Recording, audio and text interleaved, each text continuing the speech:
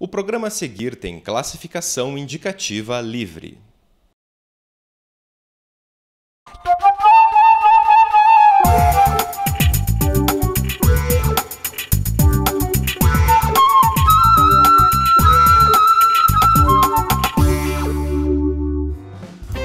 O cantor e compositor Léo Fressato nasceu em Brasília mas ainda pequeno veio morar em Curitiba, cidade que influencia seu fazer artístico.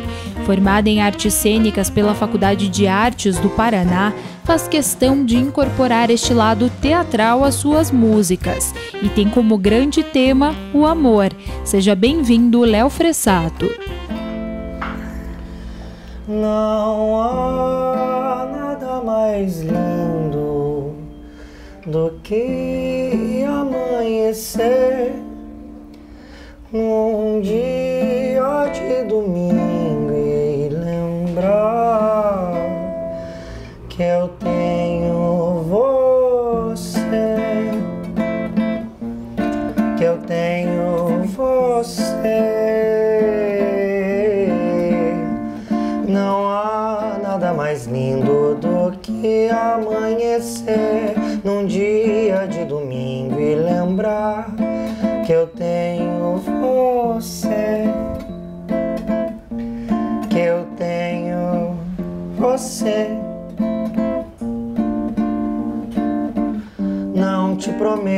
eternidade, mas dias te ofereço um milhão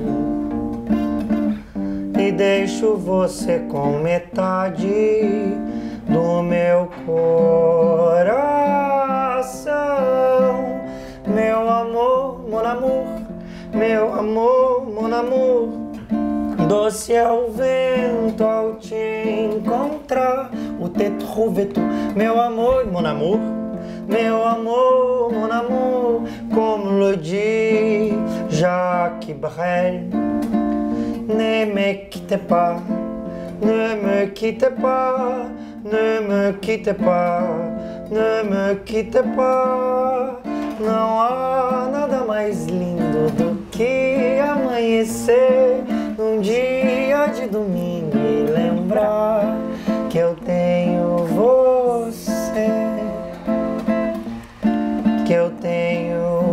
você. Não há nada mais lindo do que amanhecer num dia de domingo e lembrar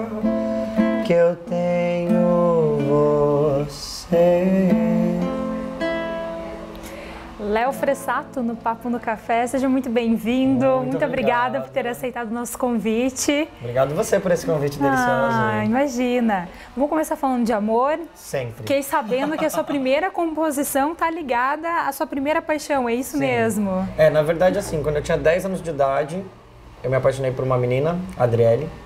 Ó, oh, lembra até o nome. Não, você não sabe, então vamos começar a contar a história boa. Esses tempos eu tava fazendo uma peça com o pessoal do Regina Vogue, com o Maurício Vogue e tal, chamava Mulheres de Chico.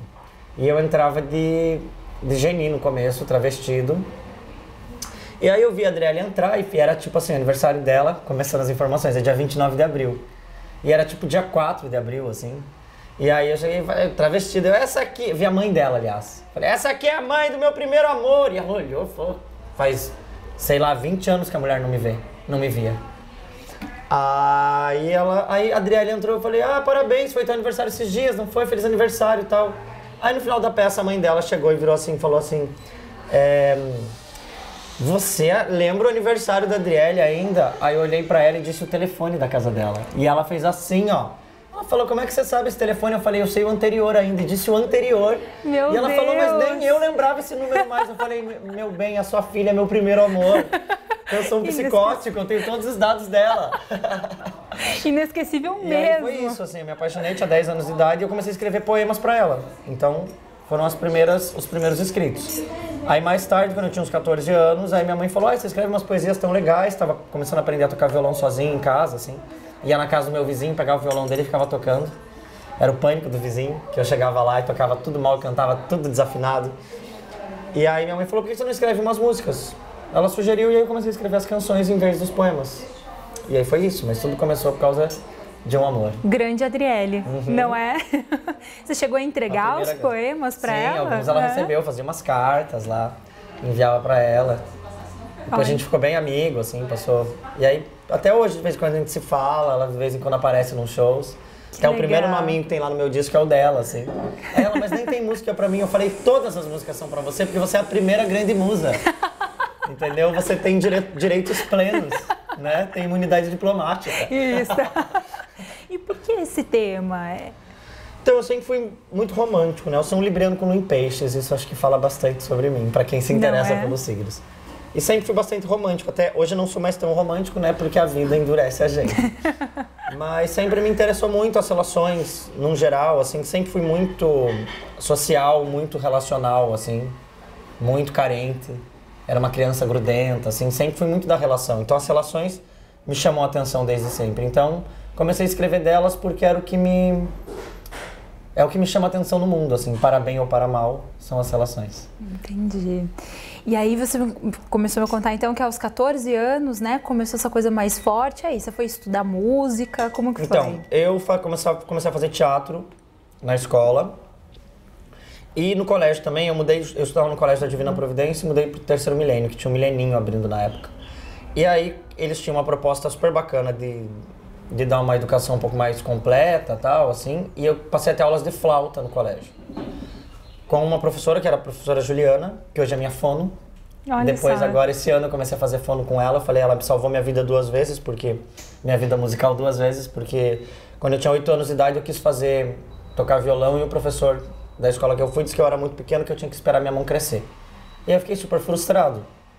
E aí comecei a ter aula de flauta na escola e uma amiga minha do grupo de flautas me ensinou uma música. E a, a Juliana, que era professora, ela dava aula pra gente e tinha um grupo de flautas em contraturno.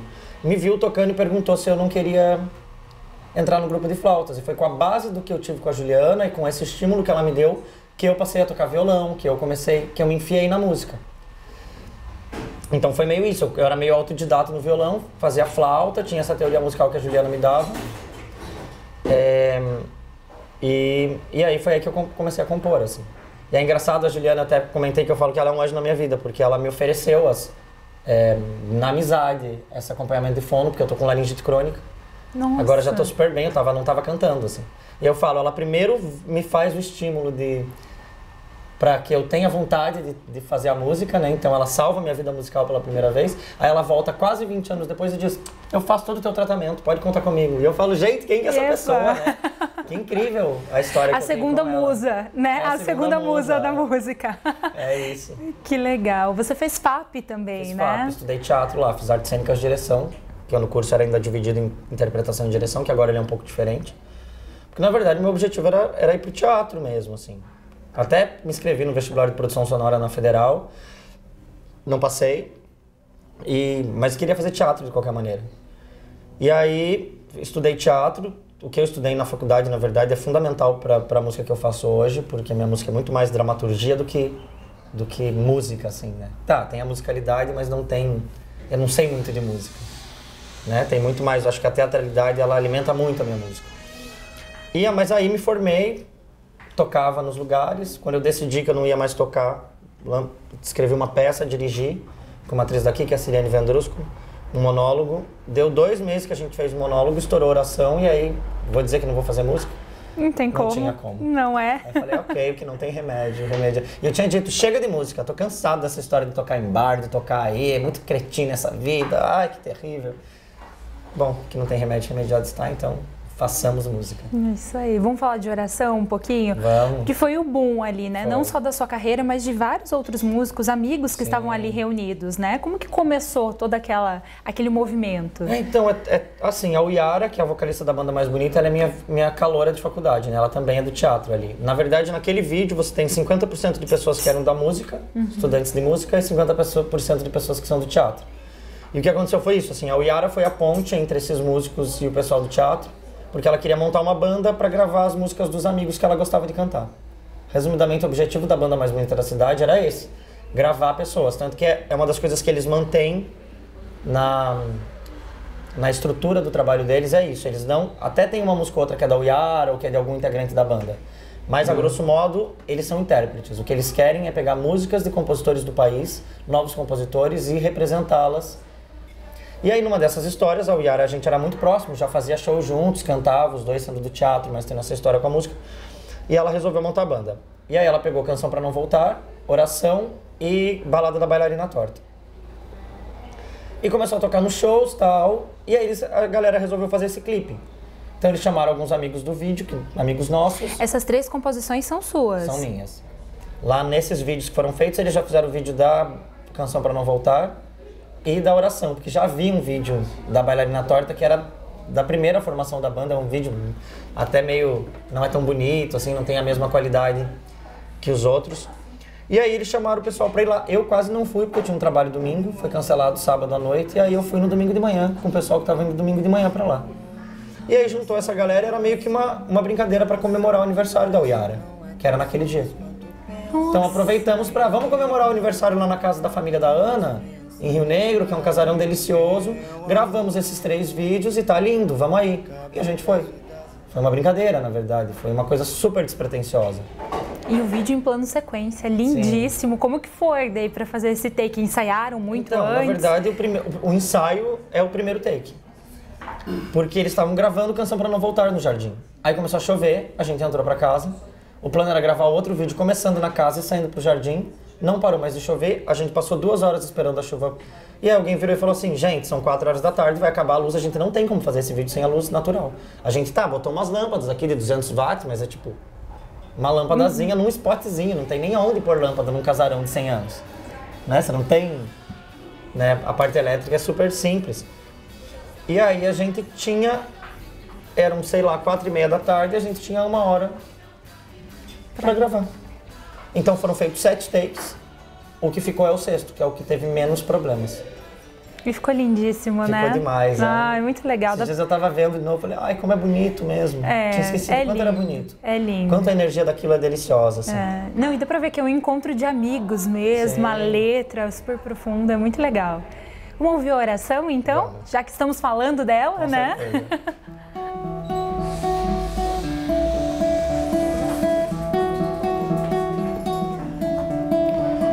Meu amor, essa é a última oração pra salvar seu coração. Coração não é tão simples quanto pensa. Nele cabe o que não cabe na dispensa. Cabe o meu amor. Cabem três vidas inteiras. Cabe uma penteadeira.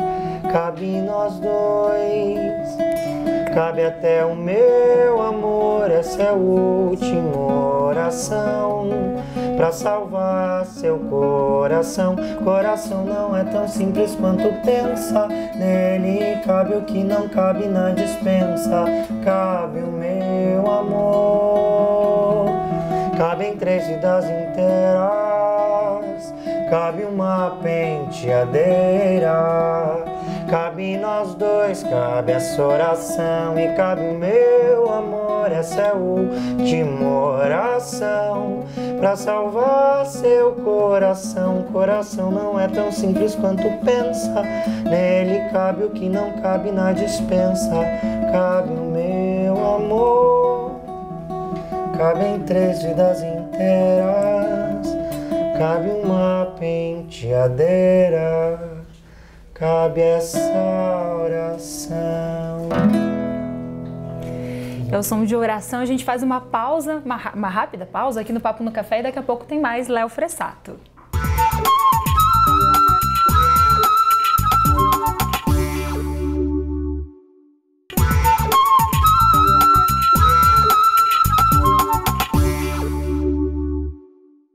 Papo no Café está de volta hoje com Léo Fressato. Léo, vamos falar um pouquinho dessa cena efervescente, né, da música alternativa aqui em Curitiba, uhum. da qual você faz parte, né? Sim. né? Como é para você? Como que tá essa cena? Ah, então é super legal, assim. Acho que a gente tem um eu, eu rodo bastante país, né? Vou para vários lugares, encontro muitos artistas assim. E é inegável que a gente tem um, uma potência artística em Curitiba muito forte, assim. Tanto que a galera, a galera brinca, ah, mas o Paraná, não sei o quê, só tem o barreado, né? Que a gente não tem Ah, porque todos os lugares, você vai lá pro norte, tem o caribó, tem não sei o quê, tem, tem forró no nordeste, tem o samba paulista, o samba carioca, o samba baiano, que são todos diferentes um do, do outro, né? E aí falam que a gente tem um pouco menos de identidade, mas essa talvez seja a nossa identidade, assim. O fato da gente ter, por exemplo, Curitiba é uma cidade que tem muito, muitas pessoas de fora, né? Principalmente por causa, historicamente por causa da Federal já, que muita gente veio para estudar aqui, então ela é uma cidade de estudantes há muitos anos, tem muita gente entrando. Então a gente tem de tudo, né? Então hoje você tem artistas produzindo caribó em Curitiba, você tem artista produzindo forró, você tem artista produzindo rock, você tem artista produzindo 9MPB, você tem artista produzindo reggae, você tem artista produzindo pop.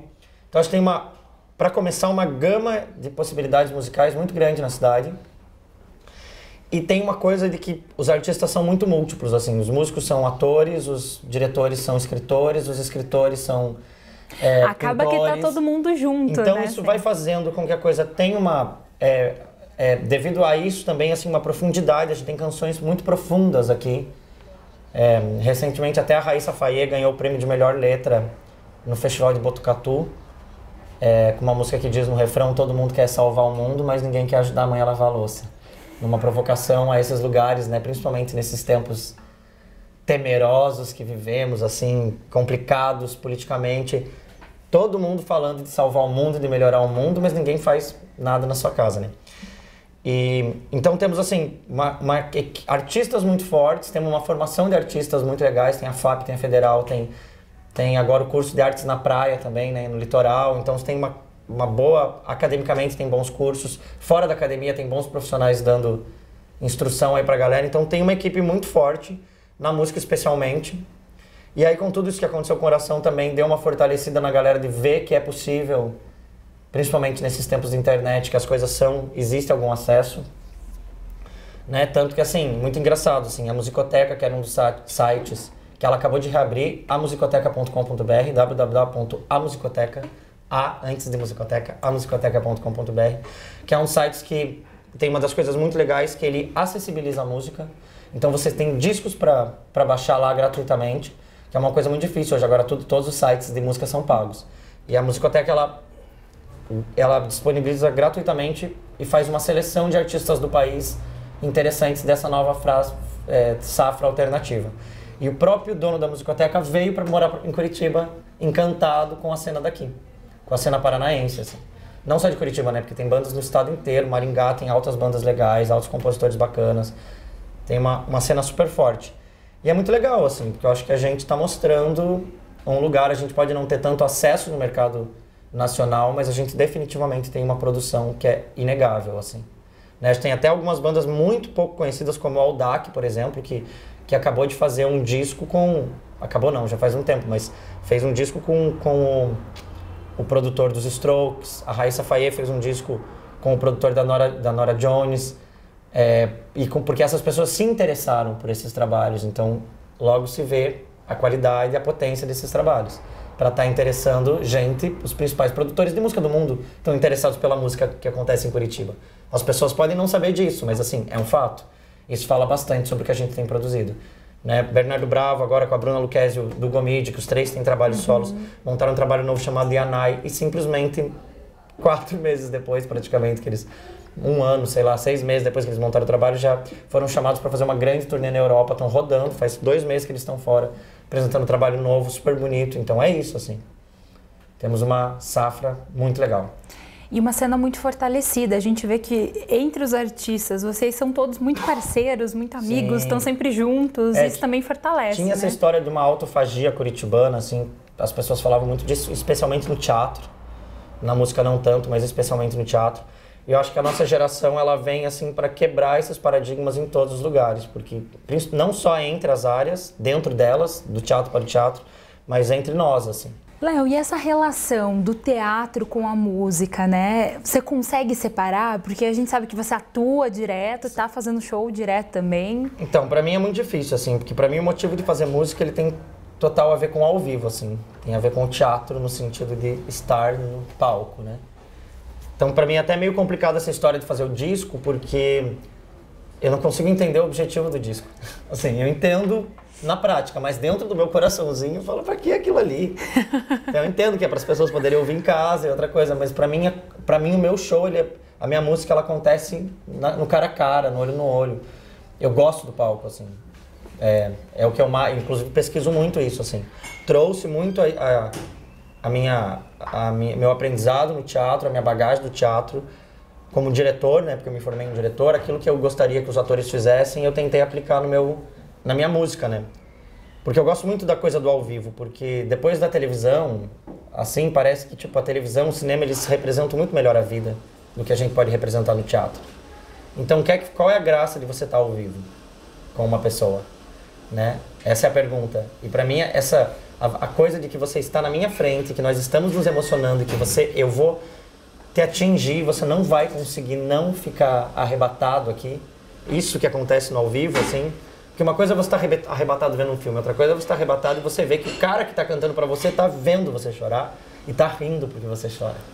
Está brincando com você porque está emocionado. Esse lugar dessa interação é o que justifica as artes ao vivo, assim. E eu adoro o ao vivo. E na minha, na minha música também, o teatro, assim, a dramaturgia, tá, é, é fundamental, assim. O fato de eu ter estudado teatro faz a minha música ser do jeito que ela é. Sei lá, tem algumas músicas, sei lá, Tantã é uma música que tem, é só uma brincadeira teatral. Vendaval é uma música que eu canto super rápido, então também tem essa provocação da teatralidade. Entendeu? Os músicos, quando ouviram a primeira vez, até na hora de gravar, eles ficavam assim: não, mas tem que baixar, tem que deixar isso mais devagar, imagina. Não dá para entender. Eu falei: essa é a graça, você tem que parar para entender. Né? A gente está falando de teatralidade, não de música nesse caso, né? Então, enfim. Mas acho que ela é fundamental e para mim não tem como separar. Assim, não em mim, porque já isso as duas coisas são já é uma só. é característico, só. né? Elas são uma só já dentro de mim. Vamos falar da sua parceria com a Ana Larrus. Como que começou? Foi na faculdade também, né? A Ana é, é da minha turma, base da Faculdade de Arte do Paraná, só que aí ela foi para a França e terminou a faculdade lá, né? Ela fez acabou se formando nas áreas técnicas que ela gostava mais, assim, porque aí ela descobriu que de repente não era o teatro exatamente, mas sim a técnica teatral. Então ela é iluminadora, a Ana também, ela tem essa história mais com as artes, ela tem uma ligação forte com as artes visuais, assim, tem uma, uma delicadeza para coisas manuais, para pintura, para cores. Uma pessoa ótima, inclusive, quando você quer saber a que cor pintar seu apartamento, chama ela fala essa parede de tal cor, essa de tal cor, que incrível. Ela assim, ela tem tino para isso, que é incrível. E a gente conheceu na faculdade e aí os dois, nós dois estudávamos direção e os dois tínhamos essa essa história da da música, né? E da composição. Tanto que a gente brinca que a gente fala que ela me ensinou a gritar, porque ela era roqueira e eu era da MPB e ensinei ela a cantar no flow, assim, no charme. e ensinou bem, porque ela é, é de uma delicadeza, Sim. né? Não, a Ana tinha uma banda de rock, se você visse ela, a primeira, ela, não consigo a gente imaginar. entrou na faculdade, ela fez um aniversário que era show da banda dela. Era era isso, rock and rollzaço, assim, gritado, punk rock de menina. Olha só, eu não consigo imaginar. Cantava Courtney Love, umas coisas assim. É... Pesadão mesmo. Nossa. Lembro dela, a gente entrando no carro e ela botando uns rock and rollzão, assim. Aí eu apresentei o Cazuza pra ela, que acho que foi uma das primeiras coisas de música nacional. Fora Rita Lee, Mutantes, essas coisas mais setentistas, assim, 60, 70. Foi uma das coisas que ela começou a gostar e tal. E aí a gente se encontrou meio no Cazuza ali, que era meio MPB, meio rock and roll, meio blues. E foi meio assim, nessa história. E aí dessa parceria surgiram várias composições, surgiram né? composições, a gente super sempre tá junto, sempre se ajudando, sempre trocando coisas, conversando sobre sobre as artes, trocando muda de planta. Aquela gaitinha francesa super característica também começou a incorporar os seus shows, Sim, né? Com certeza. Muito. É, inclusive a história de eu, de, eu, de eu me aproximar da língua francesa tem a ver com a Ana também. Assim, eu sempre gostei da língua francesa, mas a Ana foi um super estímulo e sempre me ajudou muito, corrigindo letra, falando em francês comigo para eu aprender, porque a Ana fala como uma parisiense, né? Os franceses encontram ela e perguntam, mas ela é brasileira ou ela é francesa? Porque ela fala português perfeito, francês perfeito. Descobre aí, colega. Vamos com mais uma música, Vamos então? Lá. Deixa eu pensar o que eu vou tocar para você. Essa é uma música nova que vai para um disco novo. Chama Louco e Divertido. Tava fazendo música para um colega. Aí eu sei que tava fazendo muita música para ele. Aí eu falei, vou fazer uma música para mim que eu tô merecendo. Adorei. tirar isso aqui agora que eu vi, ó. Eu tô com abafador de show pra não fazer barulho. Pronto. Fica mais bonito só.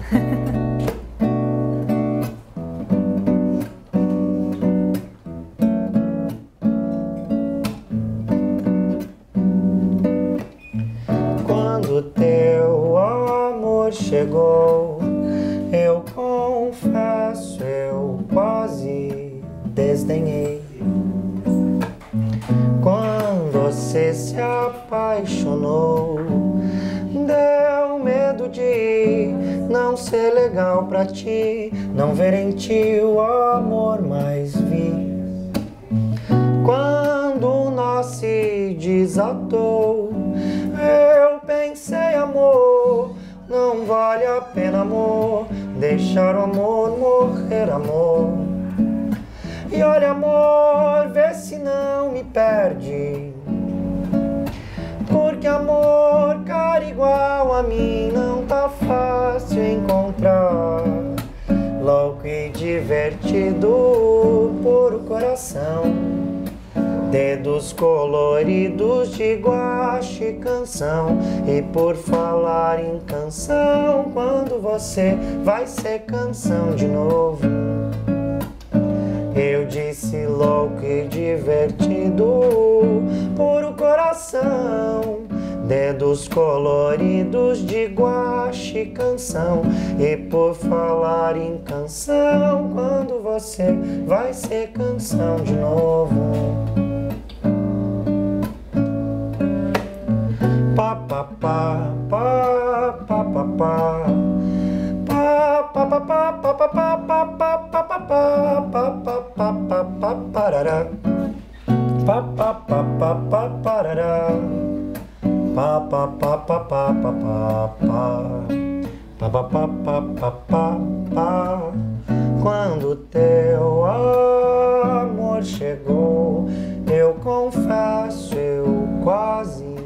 desdenhei.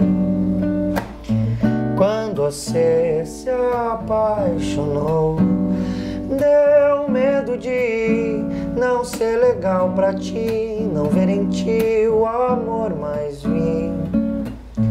Quando nós se desatou, eu pensei, amor, não vale a pena, amor, deixar o amor morrer, amor.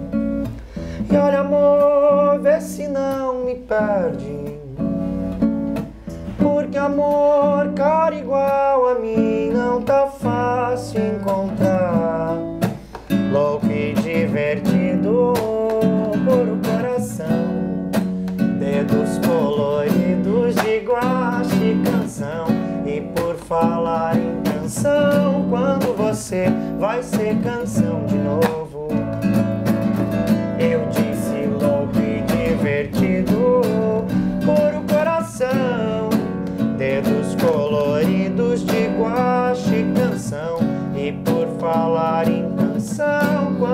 você vai ser canção de novo, quando você vem me beijar.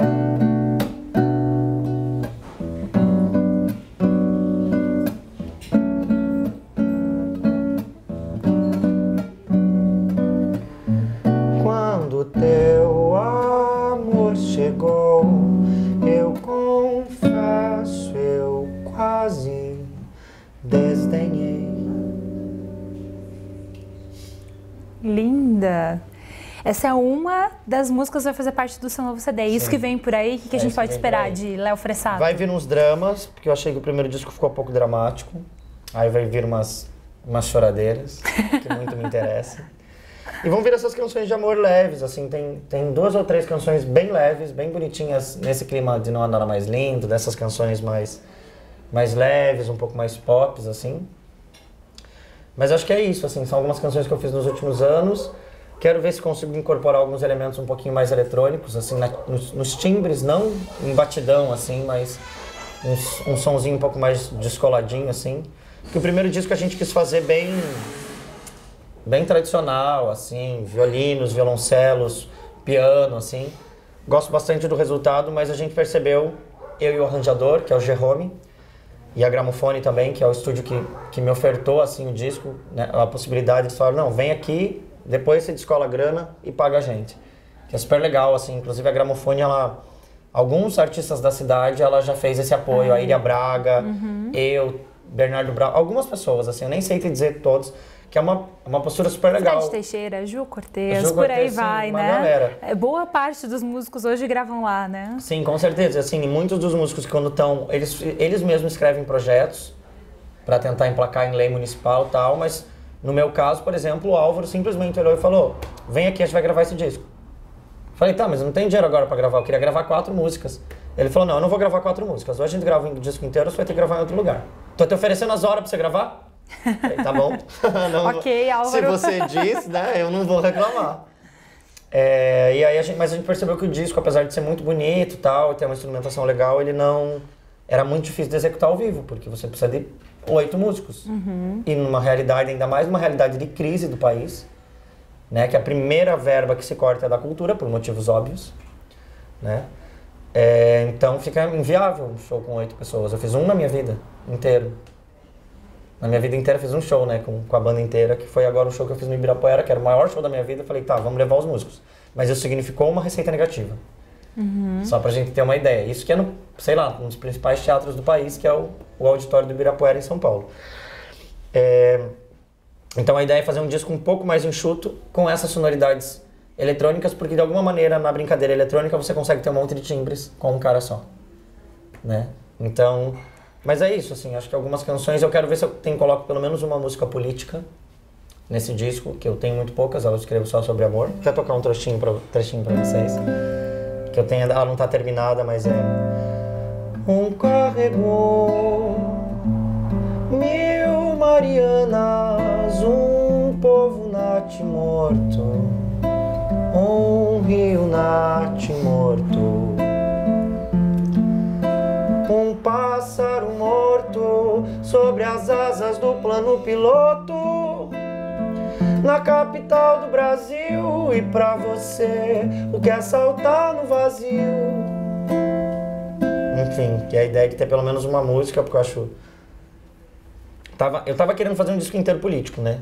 Porque as coisas não tão boas há algum tempo no país, muito contraditórias é, muito cheia de pormenores, a corrupção vindo à tona, mas ao mesmo tempo não necessariamente sendo de fato julgada, né? A gente vê vários casos aí de pessoas com poderes históricos, já de famílias poderosas conseguindo se eximir de culpas de corrupção e etc. E tudo errado, o povo passando fome, desemprego, né? O país anda complicado nos últimos anos aí. E aí eu tava querendo, mas vi que também não é muito a minha praia, não adianta querer forçar uma barra do que não é. Essa música ela veio de maneira mais natural. E aí pensei também que a minha crise era por que falar de amor com o país desse jeito, né? Aí um dia eu falei assim, não, mas pelo amor de Deus, tem que falar de amor com o país desse jeito. é o contrário, né, o pensamento. E aí até fiz pra uma trazer canção, mais amor, né, né pra, pra essa situação, Pelo menos né? um pouco de amor, que aí o refrão diz, é, eu só queria te dizer que é tão bom amar você mesmo que o mundo esteja um caos. Foi o jeito de eu me. Enfim, mas aí acho que é isso, essas canções de amor, algumas canções um pouco mais dramáticas, talvez o disco fique um pouquinho mais dramático que o outro, mas um pouquinho mais descolado também. E mas é, é isso. isso. Tá certo, Léo. Nosso tempo acabou, infelizmente, mas muito obrigada, viu, por você muito ter aceitado nosso convite. Muito bom e muito sucesso nessa trajetória, Obrigado. viu? Prazer estar aqui com vocês. Obrigada. Isso aí. Tchau, galera. Isso aí. Beijos.